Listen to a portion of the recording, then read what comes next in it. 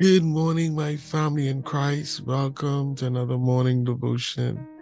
And today we continue to share on events that took place after the resurrection of our Lord and Savior Jesus the Christ. Indeed, we must know, we must believe, we must herald this message, this event because it gives us power to overcome and it causes others to know that Jesus is alive and that he's alive forevermore.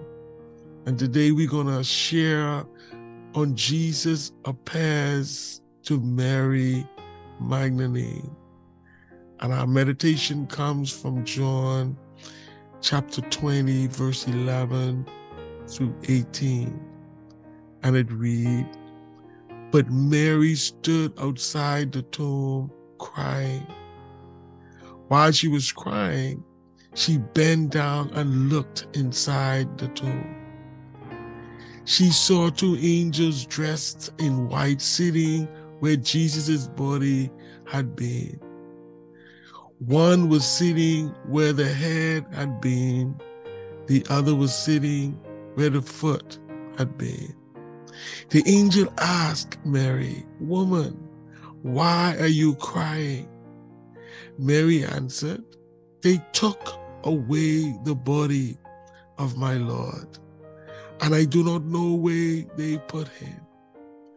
When Mary said this, she turned around and saw Jesus standing there, but she did not know that it was Jesus. He asked, Woman, why are you crying?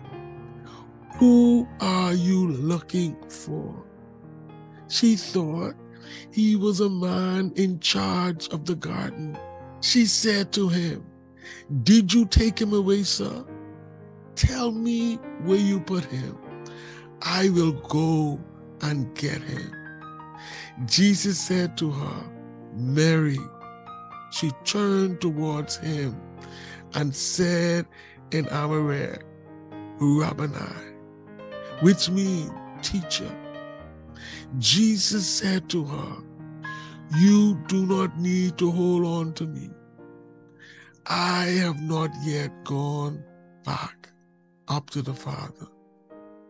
But go to my followers and tell them this I am going back to my Father and your Father and I am going back to God and your God.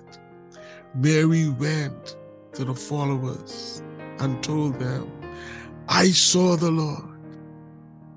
And she told them what he had said to her. The word of God to the people of God.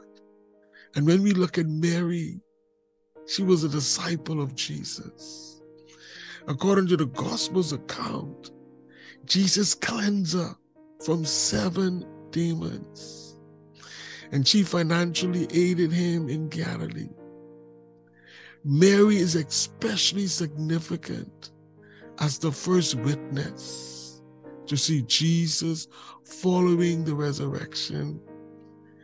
And in the time when women were regarded as second class citizens, God gave Mary, a woman, a highly significant honor by appearing to her first and charging her to spread the news of his resurrection. Today, God is calling us as believers to get in position. What do I mean? He's calling us to seek him like Mary did. She came looking. She stooped down to see. She inquired.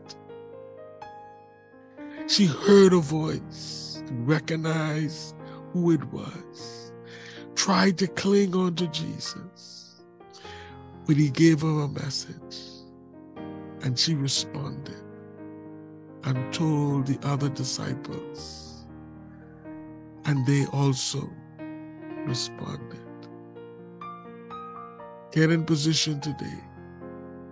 Let's hear from God. And let's do what He says. And God will help us in this hour. Father, we thank you for appearing to Mary. And you're the same yesterday, today, and forever. You can appear to us. Help us to get in position to not only hear you, but to obey you, to do what you say. When that takes place, there's a revolution. Internally, we are changed, and that will be manifest in us so that others will know and believe and receive, and likewise go telling so that others can believe and receive. We bless you because you're with us wheresoever we go. You promise never to leave us nor forsake us. Thank you for rising again. Thank you for resurrecting, like you said. And now we can live just like you in power, in victory, in dominion, indeed, in the glory of God. We thank you. We praise you. We honor you for believers everywhere today. We command us to you today. Likewise, we command those who lead the nations, including our Prime Minister and all our Parliament and their families. We say, let the will of the Lord be done in their lives. Have your way. We pray for leaders everywhere. Let your will be done, let your kingdom come even now. Those who lead the body of Christ, we pray for insight we pray the blessings of God, like Mary will receive of you. We pray that the leaders of the body of Christ will receive of you even now for the people and be before you night and day, day and night, interceding and looking to you. We bless you today and we praise you for the peace of Jerusalem, for families everywhere. Touch homes today, appear to our homes today, establish yourself in our homes, particularly single parent homes.